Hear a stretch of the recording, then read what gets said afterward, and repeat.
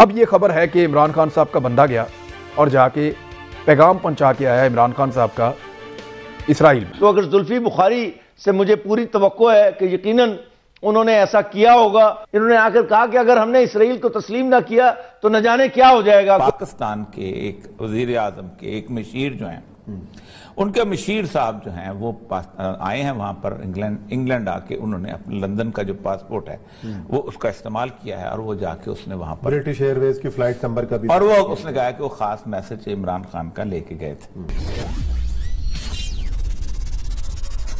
नमस्कार दोस्तों जय Hind. A very warm welcome to Hindustan special दोस्तों आज की सबसे बड़ी खबर ये सामने आ रही है कि इमरान खान के एक बेहद करीबी ने इसराइल का दौरा किया है और इमरान खान का एक खुफिया मैसेज नितिन याहू को दिया है। इस खबर से पाकिस्तान में तहलका मचा हुआ है। पाकिस्तानी मीडिया में यह चर्चा शुरू हो गई है कि बहुत जल्द पाकिस्तान इसराइल के साथ डिप्लोमेटिक रिलेशंस बनाने जा रहा है। इस खबर से पूरा पाकिस्तान हैरान परेशान है, क्योंकि इमरान खान वही व्यक्ति है जिसने हमेशा इसराइल का विरोध किया है। और अब वही इमरान खान का एक खास व्यक्ति, जुल्फी बुखारी, एक खास संदेश लेकर इसराइल पहुँच गया है। पहले ये व्यक्ति लंदन गया और लंदन से ये इसराइल पहुँच गया। पाकिस्तानी मीडिया में ये चर्चा योरों शोरों से हो रही है।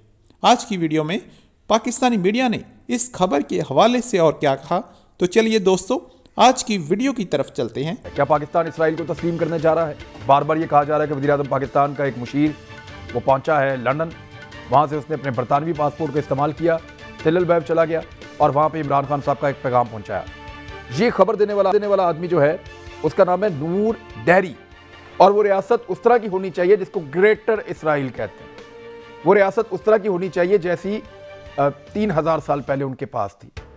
यानी हज़रत दाऊद के दौर में हज़रत सलमान अलैहिस्सलाम के दौर में यहूदी जिन इलाकों में रहते थे, वो सारे इलाके उनको वापस किए जाए। अगर ये इलाके उनको दिए जाएँ तो फिर सऊदी अरब का एक बड़ा हिस्सा, इराक का बहुत बड़ा हिस्सा थोड़ा सा ईरान का हिस्सा, लबनान पूरा का पूरा, मिस्र का बहुत बड़ा हिस्सा, ये बेशुमार मुल्क जो है, वो फिर इसराइल का हिस्सा बन जाएँगे। इसको ग्रेटर इसराइल वो कहते हैं, उनका मैप भी जारी हो चुका है, दुनिया को पता है कि उनका मैप है, वो इस पर काम करते रहते हैं। बहरहाल, अब ये खबर है कि इमरान खान साहब का बंदा गया और जाके पैगाम पहुँचा के आया इमरान खान साहब का इसराइल में। लेकिन ज़्यादा नाम जुल्फी बुखारी का ले रहे हैं लोग और उनके ऊपर ज़्यादा प्रोपेगेंडा हो रहा। है मामला ये है कि अगर तो कुछ नहीं हुआ तो हुकूमत को चाहिए कि इसके ऊपर आके क्लैरिफिकेशन दे, क्योंकि इस मामले से बेचैनी बढ़ती है। बजाय इसके कि कोई और हुकूमत के इमा के ऊपर या कहीं और से आवाज़ें आ रही हों, दोनों तरह की, हुकूमत को चाहिए कि वो मैदान में आए और आकर बताए कि ऐसा कुछ हुआ या नहीं हुआ। क्लियर करना इसको। पीरजा साहब, आपको क्या लगता है? क्योंकि माजी में भी इसराइल की बड़ी कोशिश रही है कि पाकिस्तान की तरफ़ से उसको ख़तरा ना रहे।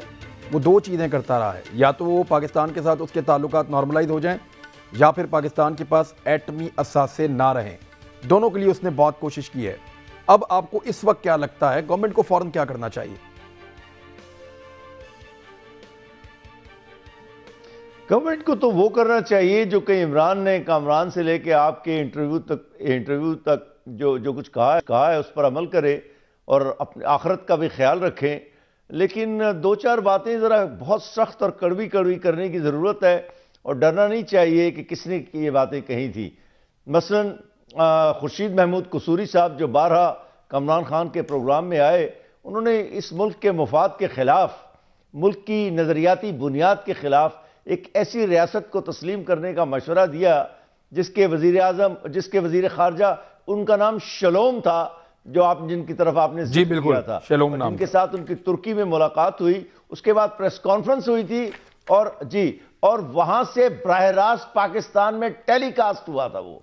दूसरी बात सलमान मुशरफ साहब के दौर में मुशरफ साहबी के दौर में जी जी वर्ल्ड जूश कांग्रेस का न्यूयॉर्क में इजलास हुआ था यह भी बरह रास्त पाकिस्तान में टेलीकास्ट किया गया था और मैंने इसी सरजमीन पर बैठकर देखा था।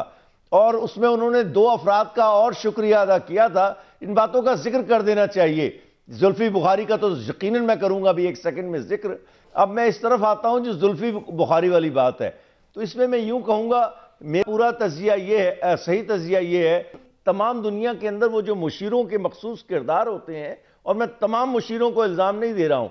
उसका एक हिस्सा ये भी होता है कि अपने लिए एक जावेदानी उसे क्या कहते हैं किरदार जो है पैदा करना होता है ताकि तारीख में उनका कोई काम ज़िंदा रह सके, मुस्बत या मनफी तौर पर।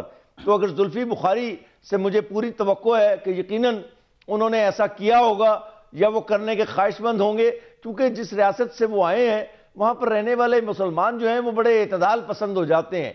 नैने नैने अमरीका में बीसों साल गुजारे हुए हैं और मैं पाकिस्तानियों के जो मखसूस किस्म के, नुमाया किस्म के पाकिस्तानी हैं, मैं उनके किरदार से बड़ी अच्छी तरह वाकिफ हूँ। यही हाल इंग्लैंड के अंदर से आने वाले लोगों का भी है। तो मुझे पूरा यकीन है कि इमरान खान के बाज मुशीर सिर्फ़ जुल्फी ही नहीं यकीन इस तरफ़ उनकी दिलचस्पी होगी। लेकिन एक बात मैं आखिर में कहता चलूँ, वो बड़ी ज़रूरी है। यहाँ पाकिस्तान में ये नुक, ये बहुत ज़्यादा फैलाई गई है बात कि इसराइल के साथ अगर ताल्लुकात कायम ना हुए तो पाकिस्तान को न जाने किन खौफनाक नतज का सामना करना पड़ सकता है। आपको याद है ये शुजात साहब एक दफ़ा इलाज कराकर जर्मनी से वापस आए थे। तो इन्होंने उस जमाने में ये मुशरफी के शायद दौर था मुझे सही तरह याद नहीं है। इन्होंने आकर कहा कि अगर हमने इसराइल को तस्लीम ना किया तो न जाने क्या हो जाएगा इसी तरह के अल्फाज थे। तो आप ये देखें कि ये जो तासुर है कि इसराइल के पास टेक्नोलॉजी है, इसराइल के पास अमेरिका का कार्ड है ये दोनों बातें जरा अपने जहन में रख लें। जब से ये वाली गवर्नमेंट आई है तो एकदम से ये खबरें क्यों आना शुरू हुई हैं? और आ कहाँ से रही हैं, आप सबका सोच देख लें। आपको याद होगा, जिस वक्त ओथ लिया था प्राइम मिनिस्टर इमरान खान ने, उस वक्त एक इसराइली तैयारी की खबर आ गई।